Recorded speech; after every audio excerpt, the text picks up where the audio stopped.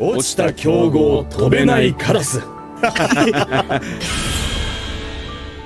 What's up YouTube, it's Silent Blackwing here and today I want to show you how you can play through the most popular hand traps in this format with Blackwings. Uh, hand traps such as the Bystials, Nibiru and Dimensional Shifter. So let's jump straight into it. In the first replay we're gonna have only one uh, Bystial card, our opponent has only one Bystial card and basically essentially what you need is Simoon plus any Blackwing or Sudri plus Shamal or Vata or Whirlwind or there's a lot of two card combos you can start the combo with. But yeah so essentially this is what the combo looks like. So here we uh, go for Vata go for Blackwing Dragon and activate Shamal getting Harmattan to our hand and uh, activating Black Feather Whirlwind taking or trying to special summon back to Vata and here our opponent used Magnamut and this is what will happen our Vata gets banished obviously Harmattan still gets to our hand and here we really want to get Steam to the graveyard, so we obviously want to summon Boreas and get the Steam that way to the graveyard. And then we can kind of continue as normally.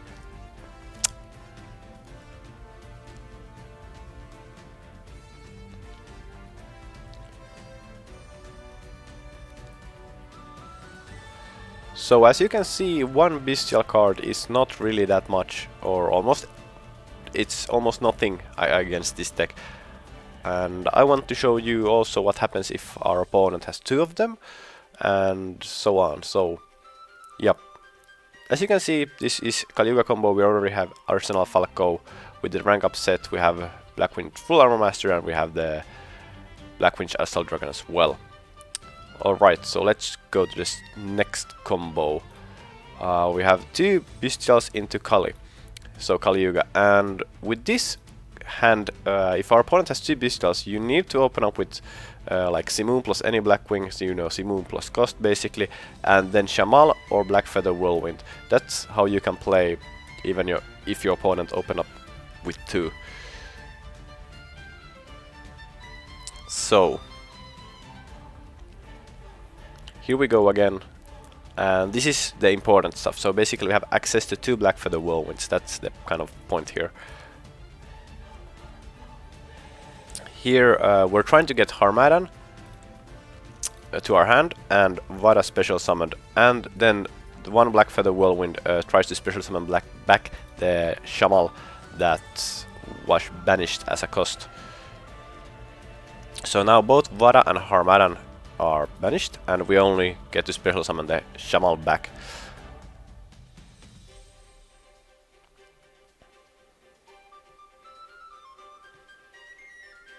And here again we need to access the Boreas for Steam.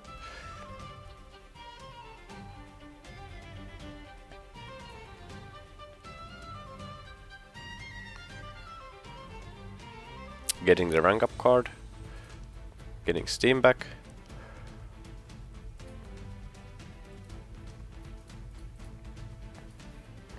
Right here, here we could pop both of them, but if he used Druiswurm on you know, either of our level 7s, we cannot go for the Kaliuga, so that's why we don't want to pop it. And it's almost essentially the same combo as if our opponent had, uh, or the same end field if our opponent had only one one beast card in his hand. So it's Kaliuga and Blackwing Full Armor Master and so on. Okay, and this is again with two Bystials, but what if you don't have access to the second Black Feather Whirlwind? What happens then? Uh, this is actually quite interesting, because then you cannot go for the Kaliuga combo, but you can kind of branch off into an only synchro field, which is quite nice. So I'm gonna show you that next. So here we go. Uh, as you can see, uh, we only have one Black Feather Whirlwind here. Uh, we're using, again, Vata and Harmattan trying to get them back to our hands and so on and both are getting removed and now we cannot special summon back the Shamal. So in this combo we're actually using Sudri's effect now to get the level 2 tuner. Going to Boreas, Boreas sending Vata. It's just important he gets to level 2. Then we're making Black Blackwing Assault Dragon we're making full armor master and a second Blackwing Assault Dragon. So I think this is a pretty good hand or field because our opponent has only 6600 and you're gonna burn them a lot and you have full armor master and this is like with one card. Obviously if you have uh, extenders in your hand you could probably most likely go for the Kaliuga combo uh, still. So yeah. Uh, then let's go for the Dimensional Shifter replay. So uh, if our opponent has Dimensional Shifter and let's say he has Shifter and decides to play it on your draw phase or whatever. Uh, or maybe he changed it to Simoon.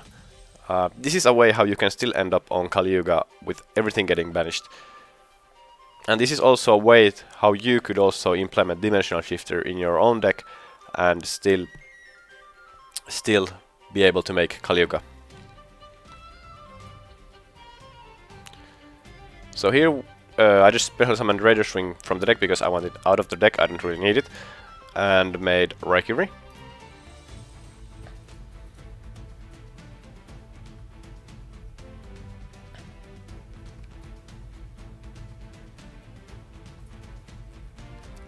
And here we have Darkness Metal, the Dark... The Dragon of Dark Steel, and essentially this card can once per turn special summon a banished card. So it's summon back uh, Arsenal Falcon.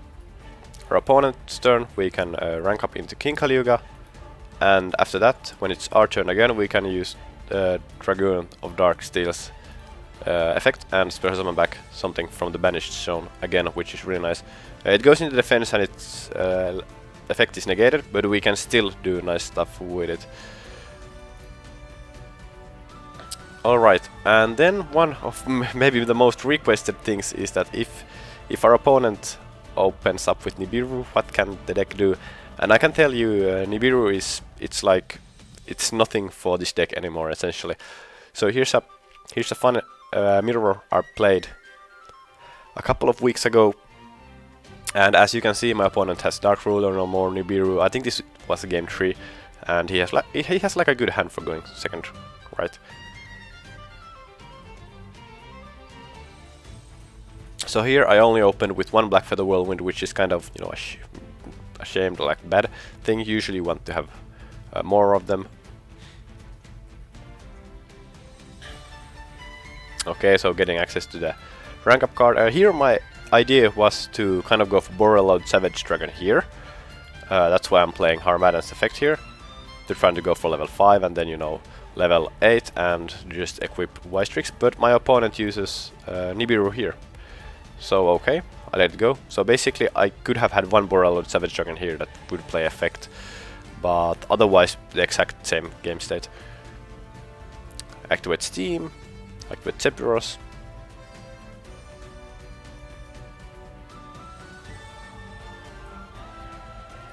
getting Boreas, Raikiri, destroying the Nibiru, Arsenal Falcon, then getting the Borreload Savage Dragon here, getting three negates, and getting Hog the Joe. So we have Kaliuga combo here again, and we have a lot of other stuff as well, which is nice.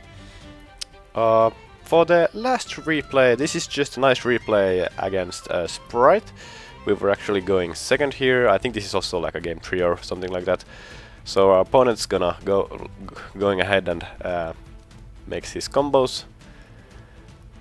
And he has a kind of kind of nice hand, so he has Gamma, uh, Nibiru and Impermanence. But I'm gonna play through everything and piece field with the hand you see on my field. And uh, obviously I'm also getting Nibiru in this this replay as well. So this is our opponent's uh, field he decides to activate his Toad and negate my small world, so I don't have access to Simoon.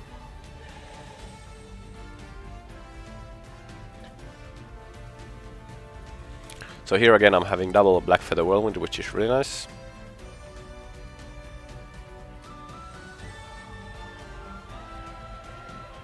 Activating Gale here. Uh, I think he should not have impermed here, but it is what it is. Activating Wystrix, he could have negated Wystrix here, with the Imper maybe instead, but uh, the most important thing is that my Vata resolved. So here he goes and Nibiru's me. Still getting my Vata back and getting my Harmad into my hand. Taking some damage.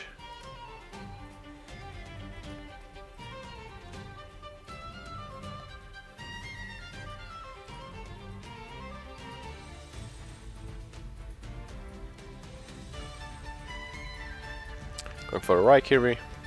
Uh, this was kind of stupid because right here, uh, as you can see, I have I have over 8,000 damage, so I could just have popped, you know, these and just attacked pretty much. But I went for Borreload Savage Dragon and used the effect. He had a Gamma, so yeah, little misplay play. But uh, yeah, it's still pretty nice. We have Chinook and we have a guy who burns and he's just gonna take a lot of damage.